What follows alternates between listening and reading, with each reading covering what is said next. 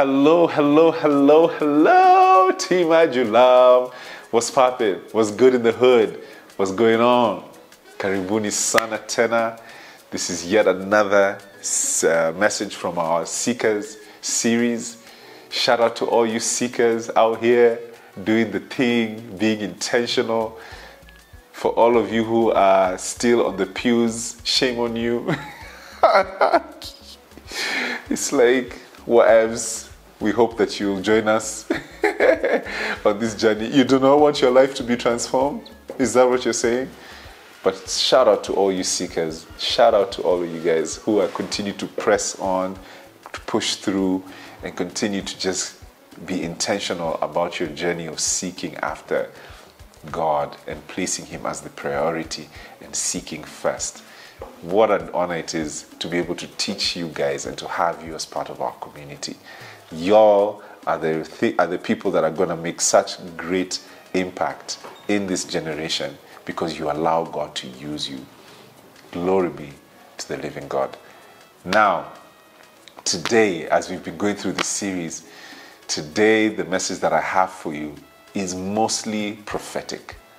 That I want you, and I pray in the name of the Lord Jesus, that the Holy Spirit will trigger something in your heart as you hear this message. That this will be a message that will go deep into your heart. And that this, in essence, is a very prophetic word that I believe that God is speaking. And it is a message very specific to seekers. If you're a seeker, this is the word for you. So, what I'm going to do is, I'm going to read some portions of scripture. So, we're going to spend a bit of time reading these portions of scripture. And then, very quickly, I'm going to tell you what this word is saying. So, I'm going to read from three different uh, parts of, of scripture, but this is a prophetic word and allow God's word to speak to us. Amen. All right. Hallelujah.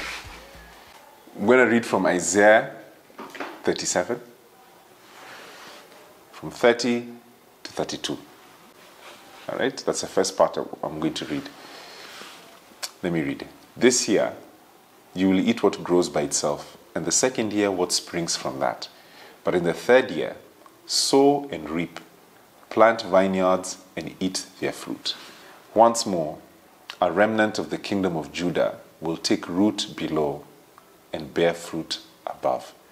For out of Jerusalem will come a remnant, and out of Mount Zion a band of survivors. The zeal of the Lord Almighty will accomplish this. Now, the second part that I'm going to read is 2 Corinthians chapter 9 from verse 6 to 11. Remember this whoever sows sparingly will also reap sparingly, and whoever sows generously will also reap generously. Each of you should give what you have decided in your heart to give, not reluctantly or under compulsion, for God loves a cheerful giver, and God is able to bless you abundantly, so that in all things at all times, having all that you need, you will abound in every good work, as it is written, They have freely scattered their gifts to the poor their righteousness endures forever. Now, he who supplies seed to the sower and bread for food will also supply and increase your store of seed and will enlarge the harvest of your righteousness. You will be enriched in every way so that you can be generous on every occasion, and through us, your generosity will result in thanksgiving to God. And then finally, I want to read Genesis 26 from verse 1 to 12. Now there was a famine in the land, besides the previous famine in Abraham's time. And Isaac went to Abimelech, king of the Philistines in Gerar. The Lord appeared to Isaac and said, Do not go down to Egypt. Live in the land where I tell you to live. Stay in this land for a while, and I will be with you and will bless you. For to you and to your descendants I will give all these lands, and will confirm the oath I swore to your father Abraham. I will make your descendants as numerous as the stars in the sky, and will give them all these lands, and through your offspring, all nations on earth will be blessed. Because Abraham obeyed me and did everything I required of him, keeping my commands, my decrees, and my instructions. So Isaac stayed in Gerar. When the men of that place asked him about his wife, he said, She is my sister, because he was afraid to say, She is my wife. He thought, The men of this place might kill me on account of Rebekah, because she is beautiful. When Isaac had been there a long time, Abimelech, king of the Philistines, looked down from a window and saw Isaac caressing his wife Rebekah. So Abimelech summoned Isaac and said, She is really your wife. Why did you say she is my sister? Isaac answered him, Because I thought I might lose my life on account of her. Then Abimelech said, What is this you have done to us? One of the men might have slept with your wife, and you would have brought guilt upon us. So Abimelech gave orders to all the people Anyone who harms this man or his wife shall surely be put to death. Isaac planted crops in that land, and the same year reaped a hundredfold because the Lord blessed him. Friends, these three things that each of these scriptures I've read will tell us. And like I said, this is a message for the seekers. This is a word for the seekers, for those who have determined to go deeper, who have determined to, to, to be intentional in regards to their pursuit and their following after Christ, who have determined to take up their cross and follow Him. The first thing is this from the first word, which is actually the word that God gave me in Isaiah 37, where He says to us, and this is what God is saying to us it is time to sow it is time to plant. You know, the thing is, is that it is unwise for you to expect a harvest where you haven't sown any seeds. And what the Lord is saying to us is that this is the year where we will harvest what we have sown. This is the promise for the seekers. This is the blessing and the anointing that will follow the seekers. That God is saying to us that this is the time to sow. This is the time to plant. This is that time.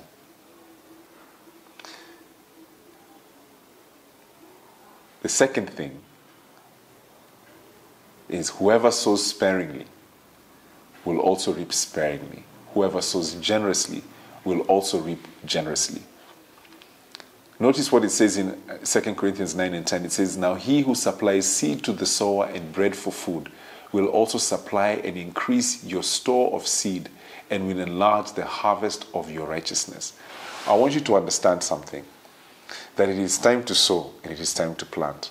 But I want you to understand who gives the seed to the sower. It says here that he gives seed to the sower and he increases your store of seed. God gives seed generously. And I want you to think of seed in this way that I want you to recognize that seed is something that is so small. Like when you look at a seed, you look at that seed and, you, and you're thinking, how is this the thing that becomes something incredible? A seed is something so small. You can easily consider it to be insignificant you can easily disregard it, disregard it because, in all honesty, it's a very puny little thing. And so, the thing that I want you to connect with the th- first thing I told you that it is time to sow and it is time to plant. I want you to think of seeds as ideas. That there are things that God has placed in you. There's things that He's placed in your mind. There's ideas that He's giving you. There's things that He's desiring you to do. There's things that He has placed in your heart to do. And they seem, when you look at them, uh, some of these things look so small and insignificant. Because the reason why they look that way is because it's a seed. And so I wonder what is the seemingly simple, small idea that God has been giving you? And what I'm here to tell you is that this is the time to plant. This is the time to plant away. This is the time to plant those seeds, to execute those things that God has placed on you to do. It is very unwise for you to expect a harvest where you have planted nothing. This is the year to plant. And the third thing is this it says that Isaac planted crops in that land and the same year reaped a hundredfold because the Lord blessed him. I need you to understand that this is the promise that God is giving to the seeker. Is that He's saying to you, seeker, He's saying to you that in this same year, that in the same year that you plant, is the same year that you will reap. And you know, that same year starts from the moment you plant. You know, that's the thing. And the thing that I need you to recognize is that what God is saying to us is that He's saying to us as the seekers, those who have chosen to go deeper, those who have chosen to be able to come into that deeper place with Him, is that He's saying that this is the thing that I want you to do as you come and draw near. Is that I want you that this year is the year you sow. This is the year that you sow. This is the year that you plant. This is the year that you execute. This is the year that you do that seemingly small, insignificant thing that God has been speaking to you about. And watch what happens. And remember that whoever sows sparingly will also reap sparingly. Meaning that I truly believe that there are things that God is inspiring each and every single one of us to do. And this is the year to do them. This is the time to do them. And the whole thing about drawing near to God is that He empowers us with the faith that we need, the boldness that we need to do the thing that He's calling us to do. And so there are three things that we know that we can ask Him in the face of an instruction that go and sow, go and plant, start that thing, do that thing, execute that thing, tend to that thing. So there are some things you plant, some things you sow, some things you tend to. Go tend to that thing. Go give this thing that extra. Go do this. And the thing that we need is three things. That he would first and foremost, because remember, he gives seed to the sower. And he gives an abundance of that seed. The first thing is that, that he would give you the vision to see all the seeds that are around you, all the ideas, all the thoughts, all the things, all the things that he's calling you to tend to, that you begin to be awakened to them. And the second thing that you want to ask for is courage. You want to ask for the courage to be able to take that leap. And I truly believe that the whole thing about having the, the, the whole thing about the seeker's, the seeker's heart is because God is inviting you to increase your faith, for your faith to increase. And your faith will increase in His presence. Your faith will increase when we place Him first. This is what the, the, the, the result is. But this whole increase in faith is not for us to do nothing, it is for us to be able to move and act in courage. And then the third thing is, is that we pray for the grace to stick with it. One of the things that I'm realizing is, is that discipline is such a big word. But really, in essence, what really discipline is, is consistency.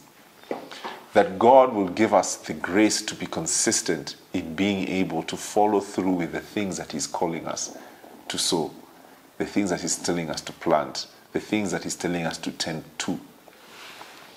And the whole thing about this thing, I believe,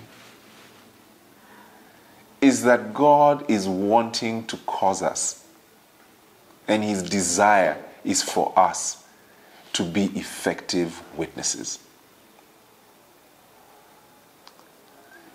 He wants us to be effective witnesses.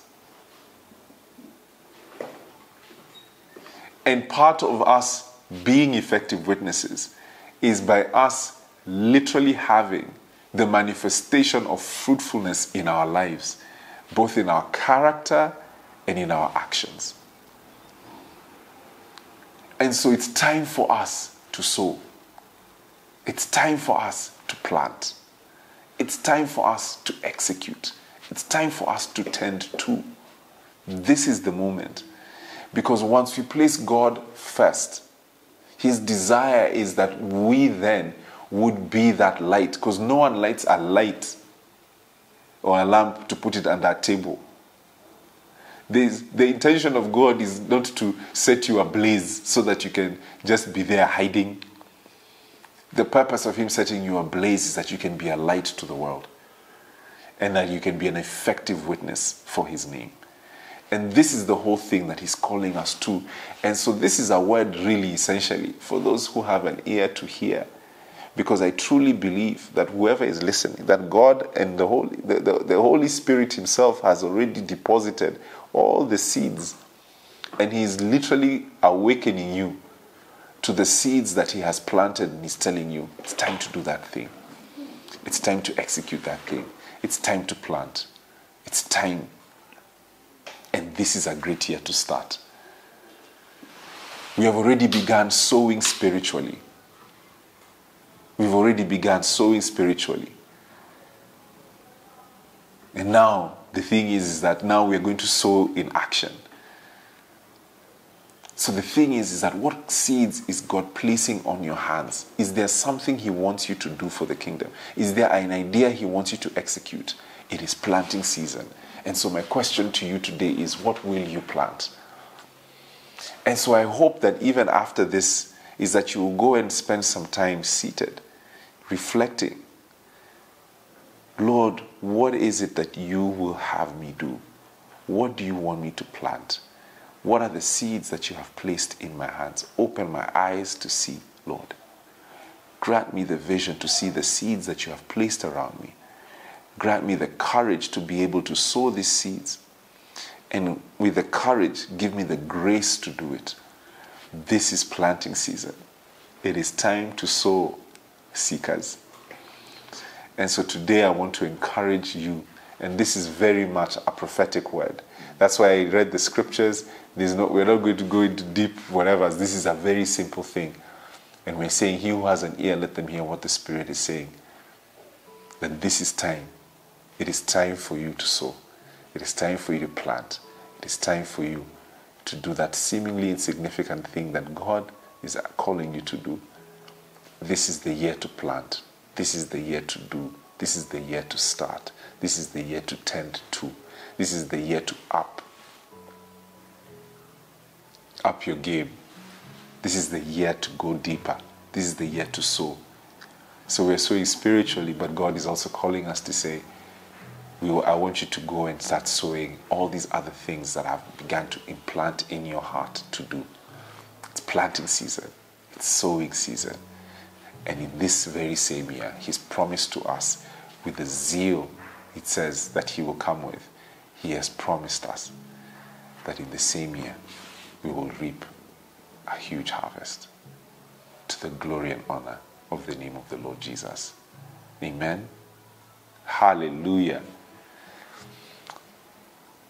spend some time after this just to reflect upon this, to think through it, sit with it, talk to God about it, talk to God, and allow Him to open your eyes to the seeds, the many seeds that He has placed around you, and ask Him to give you the courage to act, ask Him to give you the grace to sustain. And it's time for us to plant seekers. Glory to God. This is not this is this is what we'll see at the very end, is that we will see for whoever sows sparingly will also reap sparingly. But whoever sows generously will also reap generously. It's sowing season. Glory be to God. Amen. That's the only message I had for you guys today. Um, that you can sit with and and and and and, and immerse yourselves in for today um, and for the rest of the week. Um, God bless you guys. And again, like always, I never like to finish without first and foremost speaking to anyone who wants to know Jesus. This message that you just had was very much for seekers, and God is inviting all of us to be seekers. He's inviting all of us to come to faith in Him. He's inviting all of us to His free gift of salvation that He has given to us through His Son, Jesus Christ. And the thing is, is that the whole journey, and this whole journey is about giving us a rich and satisfying life in Him. This is the heritage of our God and how He cares to deal with His children. And so I want to invite you into a relationship with God.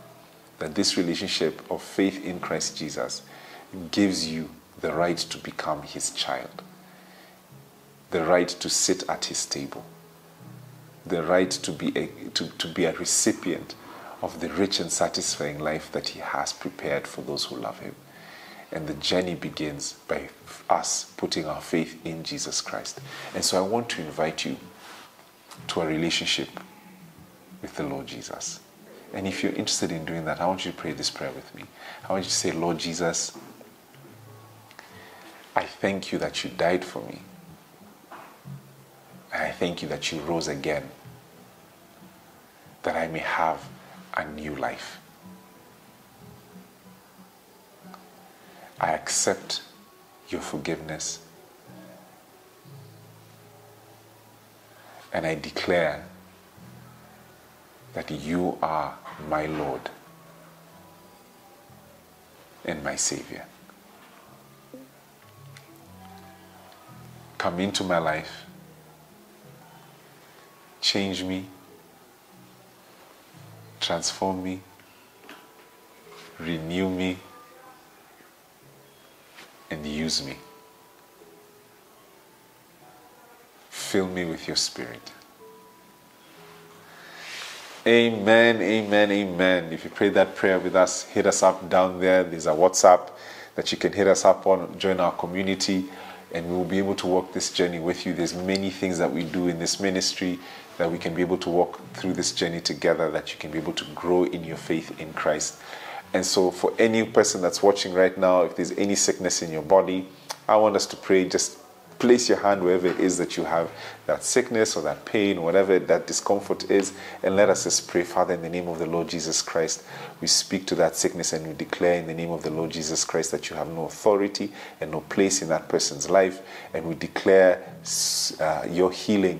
Uh, virtue upon them. We ask that your Holy Spirit would come and bring healing to every single person that is in need of healing at this very moment and that they would experience full renewal and revival in their body, in their mind, and wherever it is that they are ailing, to the glory and honor of the name of the Lord Jesus Christ. We declare that you are healed in Jesus' name. Father, thank you so much for the week ahead. We thank you that you're speaking to us and that you're instructing us and, and, and inspiring us that this is the year we plant, that this is the year we sow, that this is the year that we will see you do amazing things in our midst. For the things that we will sow, we will also reap. We thank you, Holy King, for this great, great, great blessing that you have given to us in Christ Jesus. That as we come closer to you and as, as we set our priorities straight, that you are also wanting to use us for the glory and honor of your holy name. So we thank you and we bless you, O King. For it's in Jesus' name we pray. Amen, amen, amen. Hallelujah. God bless you guys. Hey guys, thank you so much for watching. Listen, if this message blessed you, please be sure to share it with someone whom you love. Share it with a friend, a colleague, anyone. And then also, listen, support us.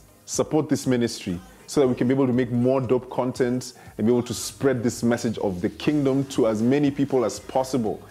And then make sure that you subscribe. Sawa, subscribe subscribe, wherever the button, subscribe, subscribe. God bless you guys.